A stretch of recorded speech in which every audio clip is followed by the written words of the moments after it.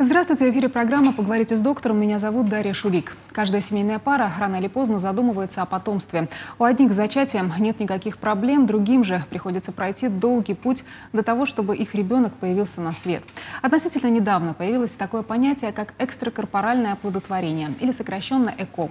Что это такое, наверняка знают те семьи, в которых безуспешные попытки зачать младенца длятся не один год. Те же, кто впервые сталкивается с этим термином, должны подробно разобраться, что это за процедура. О том, кому может помочь ЭКО, какова эффективность этого метода и как организована работа с пациентами, мы поговорим с руководителем отделения охраны репродуктивного здоровья и вспомогательных репродуктивных технологий НИАП Ростовского государственного медицинского университета, кандидатом медицинских наук Алексеем Кузьминым. Здравствуйте, Алексей Викторович. Я благодарю вас за то, что вы сегодня пришли к нам в программу. Сегодня у нас такая тема мне кажется, достаточно сложная и, к сожалению, как я поняла, готовясь к нашей программе, а, очень наболевшая. Но перед тем, как именно подойти а, к вопросу, что же это такое ЭКО, давайте поговорим о том, какая сейчас ситуация с репродуктивным здоровьем, какая ситуация сейчас в России, скажем так, с этой проблемой. Добрый вечер. По статистике, которая имеется на сегодняшний день, каждая пятая пара супружеская имеет проблемы с зачатием. Каждая пятая? Да, каждая пятая. Если же мы возьмем статистику, допустим, одиноких женщин, э, то, очевидно, этот процент будет выше, потому что данные исследования никогда не проводились. Потому что по закону э, в нашей стране женщина, не состоящая в браке, также имеет право иметь ребенка. Какая-то тенденция за последние годы может просматриваться? Идет ли рост э, бесплодных пар, либо наоборот он сокращается? единственная страна, где имеется метрика с 18 века, это Великобритания.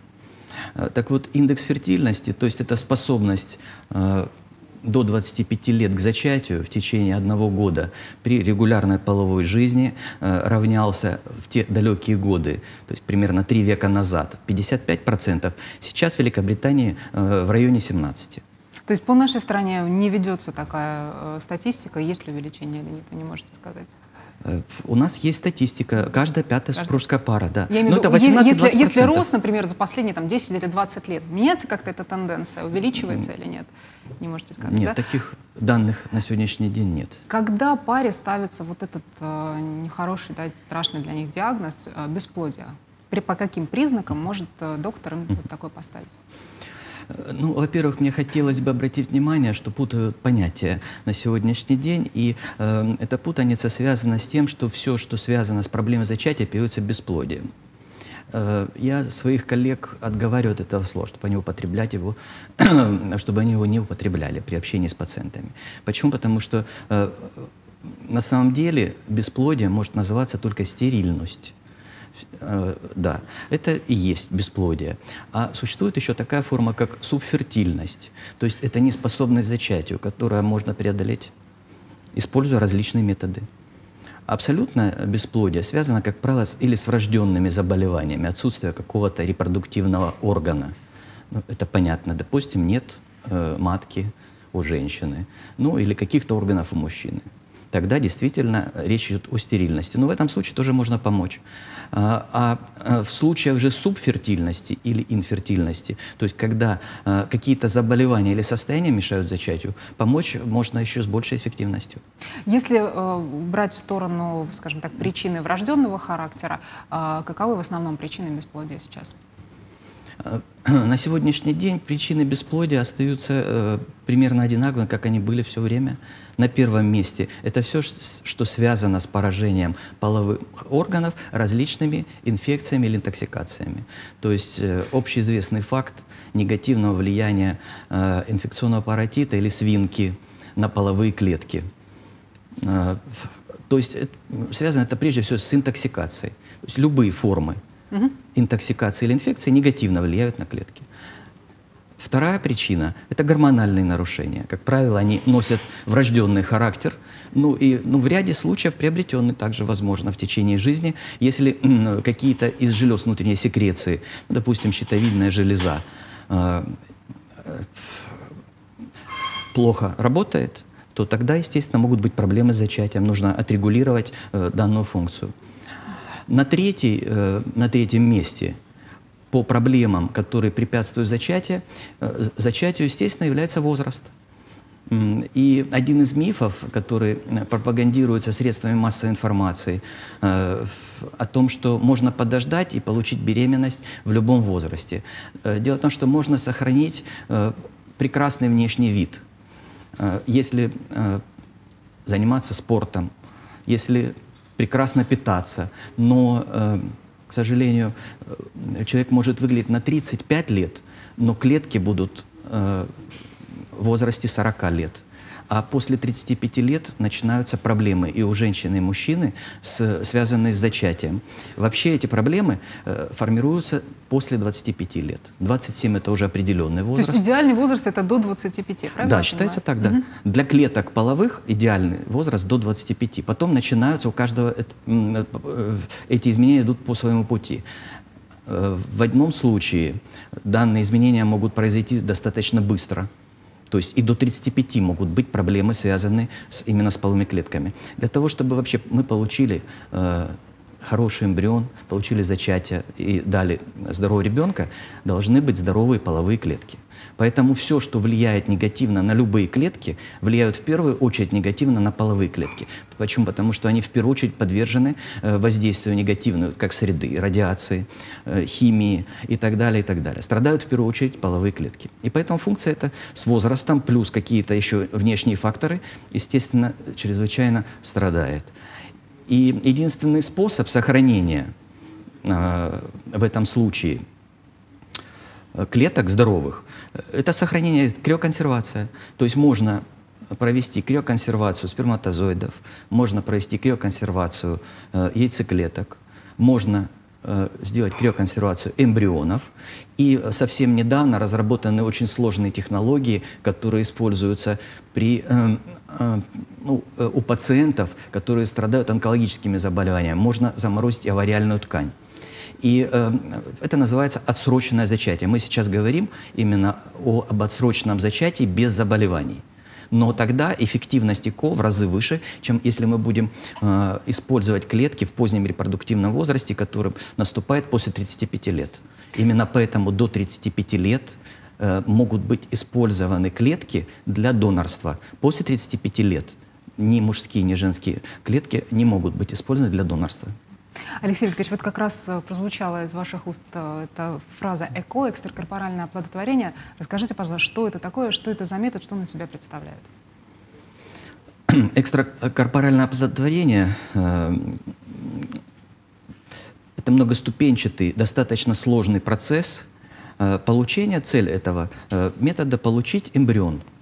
В том случае, если какие-то заболевания или состояния, ну какие состояния могут мешать допустим, беременности.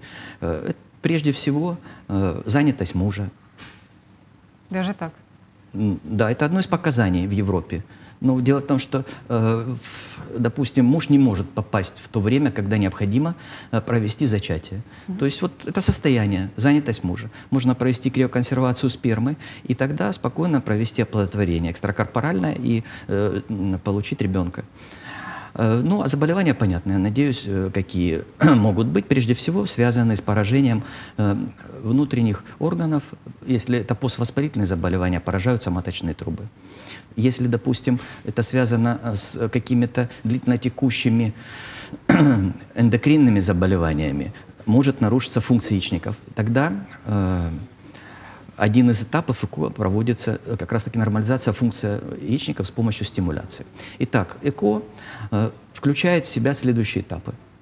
Первый э, – это устранение тех причин, которые могут препятствовать беременности женщин, как наступлению, так и э, протеканию. Что это за заболевание? Ну, в первую очередь, это какие-то инфекции, потому что внутриутробное инфицирование эмбриона на ранних стадиях приводит к его неразвитию или самопроизвольному аборту, а в последующем это может привести к преждевременным родам.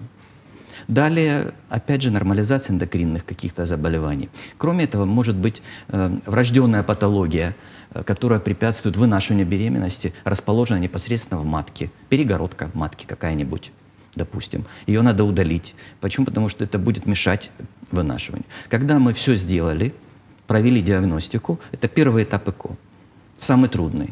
То есть нужно учесть все факторы, которые могут негативно влиять на последующее э, развитие беременности. Следующий этап – это э, проведение контролируемой гормональной стимуляции.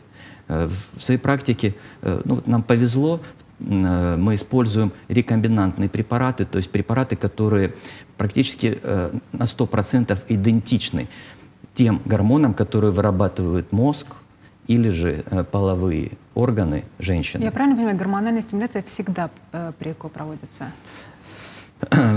Гормональная э, стимуляция повышает эффективность ЭКО. Э, почему? Потому что первая э, беременность, проводи, полученная без стимуляции, первая беременность, которая закончилась неудачно, была получена после 10 тысяч нестимулированных циклов эффективность вне стимуляции чрезвычайно низка. Мы можем сделать также ЭКО и без стимуляции, но эффективность очень низка. Угу. Индекс фертильности человеческой популяции до 25 лет 18%. То есть в течение года всего лишь 18 зачатий заканчиваются родами. Но это в возрасте до 25 лет и при отсутствии заболеваний. Если есть любой негативный фактор, он снижает этот процент. Поэтому э, если мы будем проводить э, без контролируемой стимуляции получения яйцеклеток, мы очень э, получим низкий процент рождения детей. Поэтому стимуляция показана. Почему показана? Потому что мы же хотим беременность в конкретном цикле. Но женский организм не настроен в каждом цикле на беременность. Но несмотря на это, с помощью лекарственных средств э, мы можем получить несколько яйцеклеток, и не все они одинаково плодотворятся. В соответствии с этим не все они будут хорошо развиваться. И наша цель – проследить их развитие, естественно, выбрать э, по нашим критериям наиболее хорошо развивающиеся эмбрионы и э, провести их э, селекцию, и тогда эффективность ЭКО э, у э, пациентов, которые имеют как правило, несколько заболеваний выше в два раза, чем у абсолютно здоровых людей до 25 лет. Что происходит после этого этапа, после после, э, после, когда мы подготовили яичники э, для овуляции, вообще стимуляция просто для того, чтобы подготовить яичники к известному слову для всех овуляция. Э, мы забираем яйцеклетки под легким наркозом. Э, благодаря э, нашим коллегам из Австрии, а конкретно Вильфриту Файтингеру, он создал и запатентовал методику, которая позволяет пациентке проводить забор яйцеклеток по пути на работу.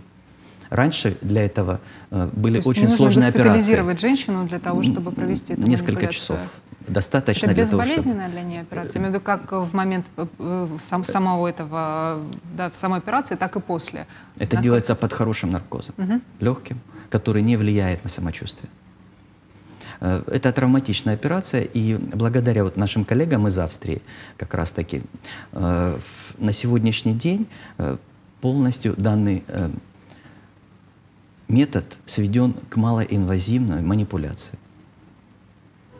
После этого что происходит? После этого э, включается э, группа э, так называемых специалистов, эмбриологов. Именно они ответственны за то, чтобы каждый час следить за развитием эмбриона. И если э, упростить, э, что они делают, я могу сказать, ну, пример, это то же самое, что ухаживать за ребенком.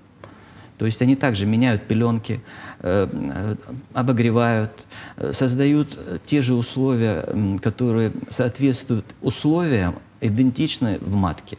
Они и даже лучше. Эмбрион. Конечно. И плюс убирают за ним постоянно, что-то добавляют, питательные среды в зависимости, то есть питают. А как долго происходит этот этап? Как долго выращивают эмбрион, чтобы его потом подсадить? Данный период длится 5 дней. Э, почему? Потому что наиболее эффективно э, развитие эмбриона, если мы его переносим э, на пятые сутки. В связи с этим в настоящее время, если это не требует методология определенная, которая ну, выходит за рамки ЭКО, есть определенные показания для переноса раньше, раньше пятых дней. Почти в 99% эмбриотрансфер, перенос эмбриона в матку делается на пятые сутки. Вот перенесли эмбрион э, будущей маме в, в организм. Что происходит дальше? Она на, находится под наблюдением. Как-то особенность, особенность беременности есть при ЭКО и при естественном оплодотворении? Я думаю, что оптимально привести следующий пример. Нужно вести себя примерно так же, как чувствует себя женщина, когда эмбрион попадает в матку при естественных условиях. То есть ни состояние, ни ведение беременности никак не отличается, абсолютно идентичное? Нет, абсолютно. Единственное, что необходимо контролировать те заболевания, которые были выявлены э, на этапе обследования, индивидуальные, которые могут препятствовать и как-то изменяться. Ну, допустим, э, нарушенная функция поджелудочной железы, сахарный диабет значит, нужно контролировать состояние поджелудочной железы. То есть нужно не беременность контролировать, а э, непосредственно те заболевания, которые ну, могут женщины, иметь, да, да, и, да как изменяться в, в связи с беременностью. То есть это заболевания, связанные с беременностью, но никак не с ЭКО. Вы чуть ранее сказали, что вот готовые эмбрионы можно заморозить. А это как-то может повлиять на, ну, если можно так сказать, на их качество, да, и на развитие в дальнейшем ребенка?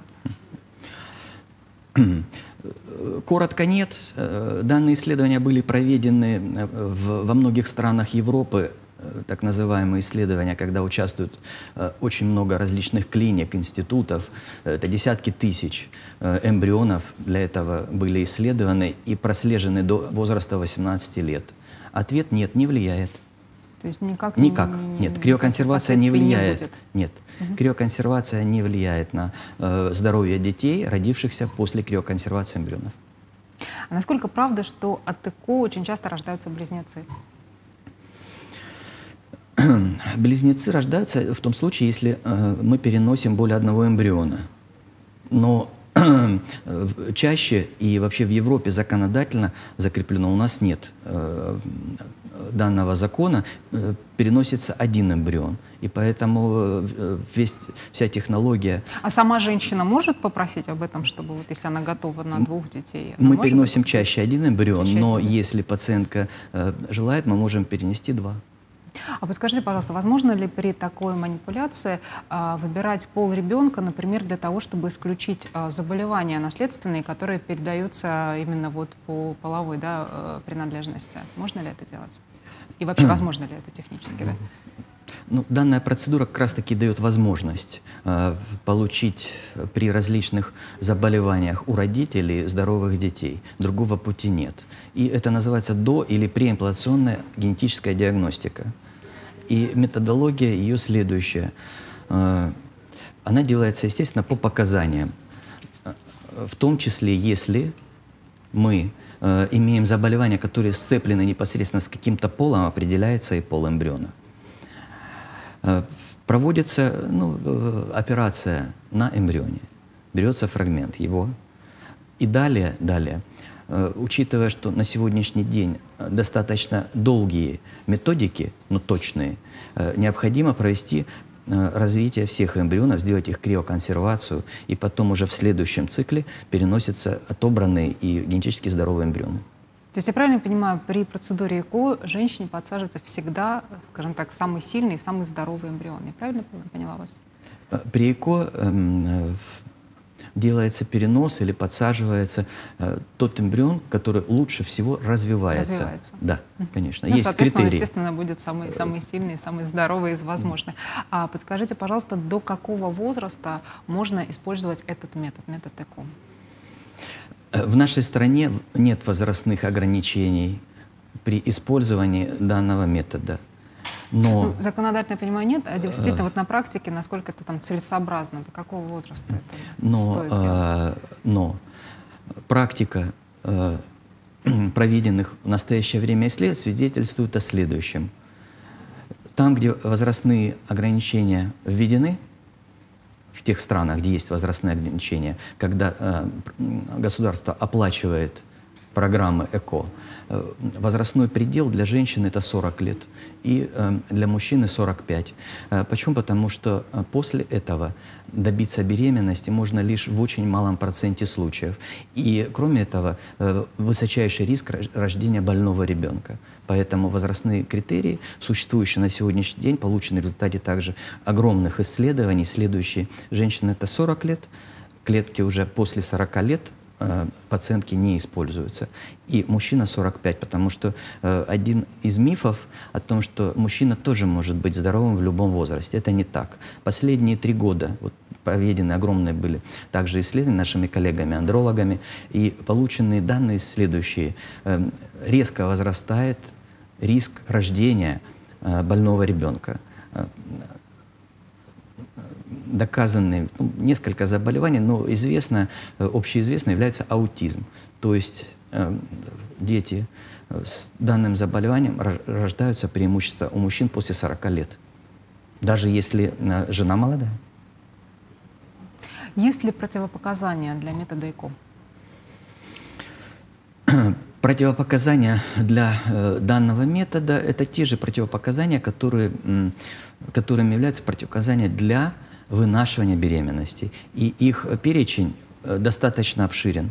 То есть любое заболевание, э, которое является противопоказанием для беременности, является противопоказанием и для ЭКО. То есть они Все абсолютно идентичные противопоказания. Да. А, готовясь к нашей программе, я э, в медицинской литературе встретила такую процедуру, которая называется ИКСИ. Вот чем она отличается от ЭКО и что она собой представляет? ИКСИ, э, данный метод э, имеет рождение в бельгийском городе Гент. В 1993 году была впервые получена беременность с помощью данного метода.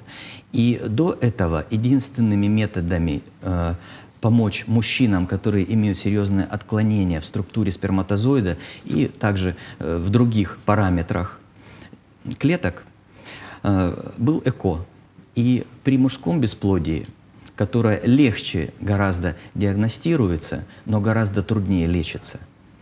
Э, ИКСИ был первый метод, который позволил э, миллионам мужчин, э, именно которые имели на тот период действительно факторы абсолютного бесплодия, получить ребенка и потом данный метод э, трансформировался, и сущность его заключается в том, что проводится операция сначала на сперматозоиде, затем э, делается операция на яйцеклетке, а потом делаются манипуляции по их слиянию. Э, это то же самое, что эндоскопическая или ну, эндоскопическая хирургия, mm-hmm. но только она проводится не э, у человека, а у клетки. У клетки. Да. В этом разница. Но это делается также особыми инструментами, но они не видны невооруженным глазом. Невооруженным глазом под очень серьезными э, увеличениями и под специальными микроскопами, для того, чтобы э, можно было э, их, ну, в общем-то, использовать. Если возвращаться к методу ЭКО, сколько раз женщина может прибегнуть к этому методу? Дело в том, что если у пациентки имеются э, какие-то проблемы э, с функцией яичников, ну или другие э, какие-то, э, которые препятствуют развитию э, беременности, то за счет ОМС она может сделать две попытки, когда непонятная ситуация, может получиться хорошо развивающийся эмбрион или нет. То есть этим методом можно воспользоваться по да. полюсу медицинского да. страхования? Если мы подтверждаем, что э, невозможно в данном случае, то есть, допустим, имеется нарушенная функция яичников, и мы не можем использовать ее яйцеклетки, тогда используются донорские яйцеклетки. И данная процедура уже не оплачивается ОМС. Поэтому, э, если э, мы говорим о э, общем количестве данных процедур, то обычно э, все беременны в течение четырех попыток, даже если есть какие-то серьезные отклонения. Бывает больше, большее количество попыток? Бывает, да, но заведомые тяжелые очень заболевания, которые требуют э, чрезвычайных мер. Это изначально э, эксклюзивные какие-то заболевания, которые, допустим, требуют в 10-15 раз больше лекарственных средств и так далее. Это врожденная ну, патология. Вот вы как раз сказали о э, лекарственных средствах, а я имела в виду количество э, ЭКО, чтобы это было уже не во вред для организма. Ведь, я думаю, тоже есть предел, сколько можно говорить, что будет гормональная стимуляция. Есть как какой-то предел, после которого говорят, что уже все, нельзя. Есть разум. Если мы не получаем эмбрионов, угу. то необходимо изменять методику.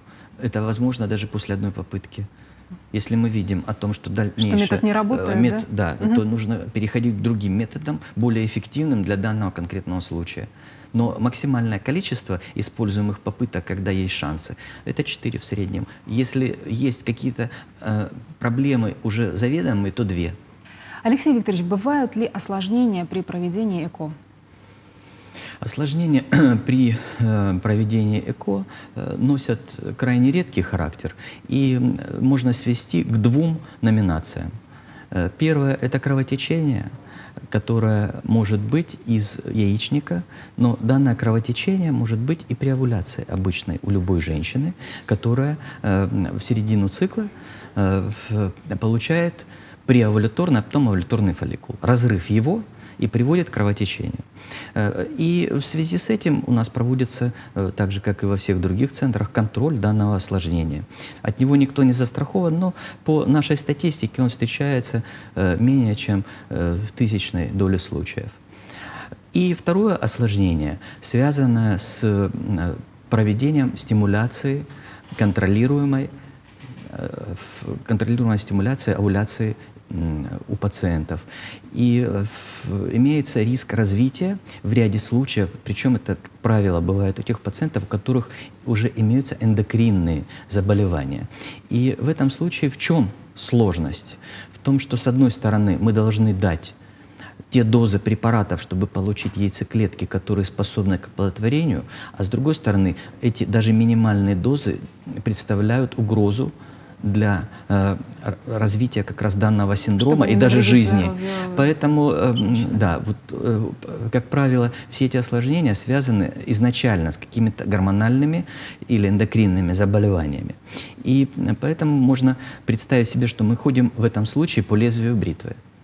С одной стороны, наша цель – получить яйцеклетки в достаточном количестве, которые могут дать хорошие эмбрионы. С другой стороны, мы не можем использовать те дозы препаратов, которые хотелось бы в данном случае. Э, других осложнений, как правило, они не описаны или э, бывают связаны с теми заболеваниями, которые изначально есть у пациентов. А если осложнения уже на каком-то из этапов ЭКО наступили, а этапы прерываются, следующий этап не наступают или просто пытаются устранить их и дальше э, все идет своим чередом? Ну, если мы говорим о кровотечении, то кровотечение носит незначительный характер и э, не препятствует дальнейшему продолжению этапов ЭКО никак. Проводится лапароскопия, делается гемостаз, то есть остановка кровотечения, mm-hmm. и э, через 5 дней также переносится эмбрион. Если же кровотечение массивное, ну, это я, в общем-то, не помню таких случаев, естественно, можно э, сделать криоконсервацию эмбрионов и сделать это в следующем цикле, или плохое самочувствие пациентки. Э, синдром гиперстимуляции все сложнее. Если это легкие формы, они не влияют. Есть методы остановки данного синдрома и э, успешного лечения. Они не, навлия... не влияют никаким образом на следующие этапы.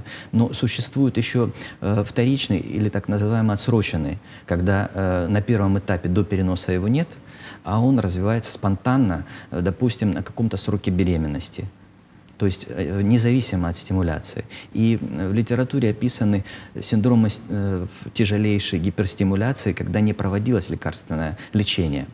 Да. И э, если же мы сталкиваемся с тяжелыми формами, то, естественно, неразумно делать э, перенос эмбриона. Э, мы также проводим криоконсервацию эмбриона, лечим данное заболевание и в следующие циклы в спокойном режиме, э, ликвидировав все отклонения в самочувствии, э, проводим перенос. Расскажите, пожалуйста, о методе онкофертильности, что он из себя представляет. Метод онкофертильности э, – это одно из последних направлений э, в методах вспомогательной репродуктивной технологии. И если о нем говорить кратко, э, мы, в общем-то, можем дать возможность сохранения репродуктивной функции у э, пациентов, которые имеют различные онкологические заболевания. Ранее такой возможности не было. Почему? Потому что э, на сегодняшний день разработаны методы криоконсервации авариальной ткани прежде всего. То есть, э, так как лечение онкологических заболеваний связано с применением высокотоксичных препаратов. И э, мы уже с вами говорили о том, что вся токсичность любого средства прежде всего влияет на половые клетки. В соответствии с этим при этой терапии прежде всего страдают половые клетки. И, э, Таким же негативным влиянием обладают и различные э, методы, которые используют облучение или радиацию.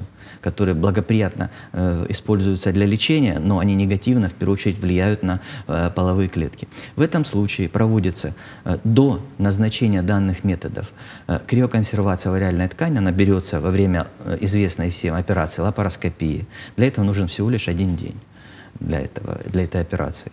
Далее пациентка продолжает все виды лечения, которые ей необходимы.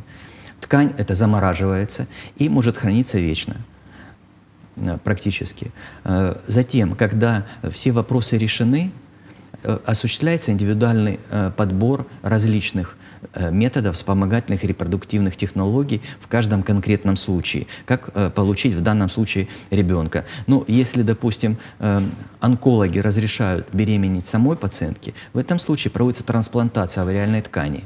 А затем все этапы ЭКО, о которых мы говорили, как обычно. И если пациентка может вынашивать, то делается перенос ей. Если же нет, используется суррогатное материнство.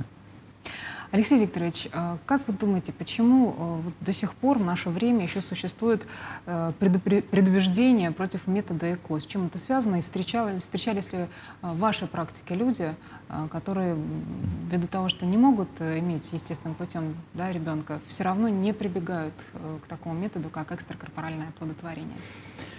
Уважаемая Дарья, э, существует действительно несколько э, направлений данной темы. Прежде всего, это религиозное. И э, ряд религий, в общем-то, ограниченно относятся к данному направлению. Но не препятствуют рождению детей супругам, находящимся в браке. Эти ограничения распространяются на другие виды ЭКО, такие как донорство ацитов, э, донация спермы, суррогатное материнство, использование этой программы не у супругов, а у партнеров. То есть речь идет о соблюдении моральных принципов общества, которые проповедуются религиозными а, организациями или э, направлениями. Э, если мы э, возьмем э, другое направление, которое связано с индивидуальными особенностями, во-первых, есть ну, предвзятое, допустим, отношение, предубеждение. И, к сожалению, оно сформировано в том числе неверная информация, которая получается из средств массовой информации интернета, так как обсуждается данная проблема не совсем профессионально, и допустим, были получены абсолютно объективные данные, что данный метод не влияет негативно на здоровье детей, не влияет негативно на здоровье мужчины и женщин, потому что мужчина в ряде случаев тоже подвергается операции, если у него, допустим, трудности с получением сперматозоидов.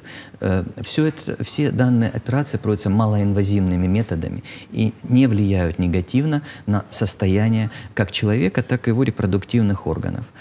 Э, ну, следующим направлением, э, из-за которого э, это имеет негативное, вернее, ограниченное распространение, это прежде всего недостаточное количество специалистов, которые бы могли объяснить все то, о чем мы сегодня говорим. То есть предубеждение от незнания фактически, как с ну, одной стороны, так и с другой. Да, естественно, естественно. И э, Данный метод э, позволил, вот последние годы наметилась хорошая тенденция – молодые супружеские пары готовятся уже к беременности и приходят э, к нам э, в отделение обследоваться предварительно до наступления зачатия. Но дело в том, что на этом этапе мы уже можем выявить, если они пришли самостоятельно и начинают обследование по определенной э, методике, так же, как для экстракорпорального оплодотворения, и не имеет значения для чего, для какого вида оплодотворения они обследуются. А у них повышаются шансы рождения здорового ребенка, так как в процессе этого обследования заболевания, будут выявлены заболевания, которые могут ухудшить здоровье ребенка и привести к потере беременности. Алексей Викторович, время нашей программы, к сожалению, подошло к концу. Я благодарю вас, что сегодня были нашим гостем. Спасибо. Спасибо. Спасибо большое. Это была программа «Поговорите с доктором». Я Дарья Шулик. Берегите себя и до встречи на телеканале «Дон-24».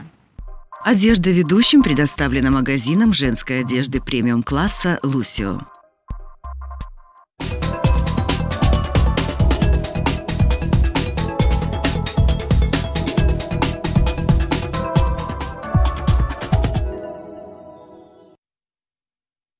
Одежда ведущим предоставлена магазином женской одежды премиум-класса «Лусио».